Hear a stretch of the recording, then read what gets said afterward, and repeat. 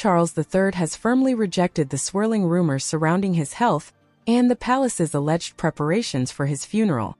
Amidst the grim speculation, the 75-year-old monarch has emerged, subtly yet defiantly, to assure the nation that he remains very much alive and committed to his royal duties. During a recent public appearance in Southport, England, the king offered a telling response to the whispers of his impending demise.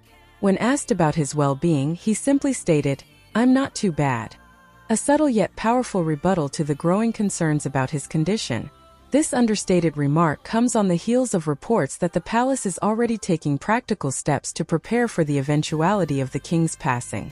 An insider revealed that the business of planning his funeral has already begun, a move that may seem premature, but is in line with the monarchy's standard practice. However, the king's public engagement in Southport, where he met with young survivors and emergency responders from a recent stabbing incident, demonstrates his unwavering dedication to his role. Despite the challenges posed by his recent cancer diagnosis, Charles has remained steadfast in fulfilling his royal responsibilities. The palace is giving the impression that Charles is on the mend, but he's still very sick. A source close to the palace confided. He's making public appearances, but they're for shorter periods of time. After an engagement, he needs a good rest. Yet, the king's resilience shines through, as he continues to balance his treatment with his duties. Queen Camilla, his steadfast companion, has been by his side throughout this ordeal, offering support and even a touch of levity.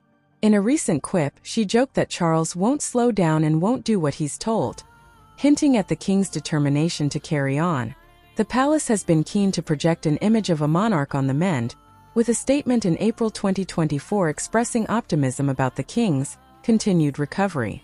However, sources suggest that the situation may be more complex, with the palace giving the impression that Charles is on the mend, but he's still very sick.